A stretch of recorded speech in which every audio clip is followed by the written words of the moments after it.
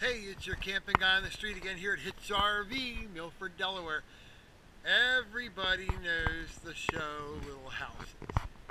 Folks, if I could tell you the amount of times people walk in the door and say, I want to see those little houses. These are not little houses. Those little houses are 100 square feet, 150 square feet. These park models, that's the correct term, the park model from Shore Park in Skyline are 399 square feet, just under 400 square feet. Everybody talks about the 1941, that's the yellow one over there. We're gonna look right now in the 1967, you gotta love it. Uh, this is gray, it's by Skyline again. It's the Shore Park Park model. Let's go in inside right now and check it out. This you're gonna see right away that this is a mid kitchen, which gives you kind of a little bit different feel.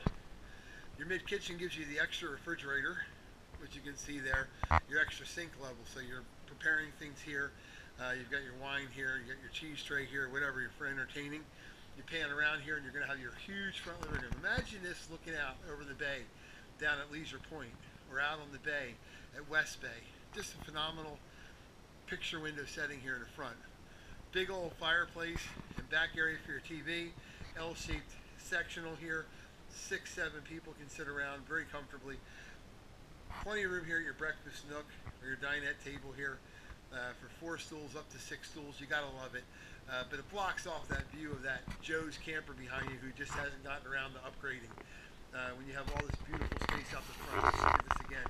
Imagine just sitting here on your stool, having your coffee, and you're looking out and you're just watching the dolphins in the waves. You're watching the seagulls fly by. Just a phenomenal floor plan. You gotta love it. Let's go back around here in the 1967. We're going to go around, check out your appliances. You're going to see one of the best features that everybody loves about this is the huge bathroom. You're not all scrumped in. Look at this great bathroom. Look at this huge residential bathroom. You got all the way up, way up, skylight. It's just phenomenal. All kinds of closet space. Uh, you feel like you're in a monster hotel as opposed to like a little park model along by the shore. Look at your great bathroom setup in here.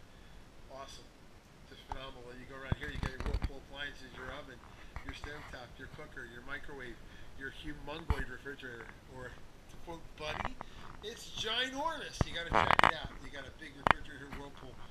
Your bedroom back here in the back, man main suite. Bedroom setup. Again, great lighting, great windows for ambient lighting to check out the scenery on the outside. Just phenomenal. Dresser, and of course, a place for a TV, your